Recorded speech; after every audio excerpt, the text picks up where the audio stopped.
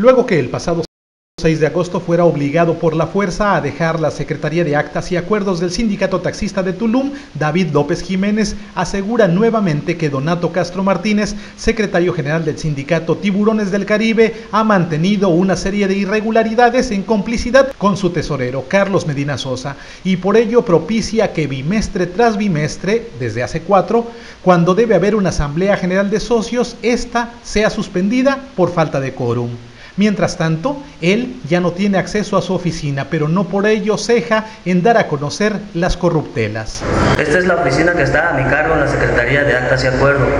Eh, como le iba diciendo el señor, entraron dos elementos policíacos a sacarme por la fuerza de mi escritorio, me sacaron a empujones, me querían llevar detenido. Al día siguiente me presenté a laborar precisamente aquí y le cambió la chapa, le cambió la chapa al señor, ya no puedo entrar, se acercó al señor amenazándome que si me volvía a presentar a estas instalaciones me iba a sacar de nuevo por medio de la fuerza. A lo largo del día se intentó contactar con Donato Castro Martínez para conocer su postura referente a esas acusaciones y sobre el por qué después de ocho meses de gestión aún no lleva a cabo ninguna asamblea general de los casi 800 socios taxistas. Pero fue imposible pues oficialmente estuvo fuera de su oficina. No se encuentra. No se, encuentra. No se encuentra. No, no está. Bueno, ok, gracias. ¿eh? David López Jiménez, mientras tanto, asegura que este próximo 26 de agosto es la fecha de la asamblea correspondiente al bimestre que termina.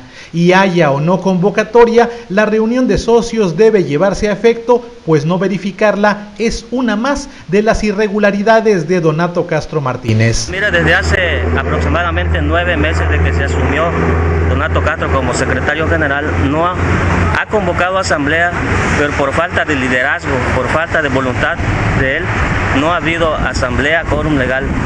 A causa de eso, no ha habido informe del secretario de Actas de Acuerdo de muchas corruptelas que ha hecho el señor en, en complicidad con Juan Carlos Medina Sosa. Y quiero aprovechar este momento para convocar a los compañeros socios concesionarios a que vengan este 26 de, de agosto perdón, a la asamblea se llevará a cabo eh, convoque o no convoque Donato Castro para que yo dé mi informe de todo lo que está pasando. A mí me interesa, soy el más interesado en que esto se aclare y dar este informe a todos los compañeros socios concesionarios. Los ánimos de los socios concesionarios del sindicato taxista se continúan caldeando y muchos especulan que este próximo 26 de agosto la reunión que está ya siendo convocada es el inicio de la próxima destitución de la actual directiva pues entre las irregularidades se señalan millonarios desvíos de dinero por la venta o asignación de nuevas y viejas concesiones.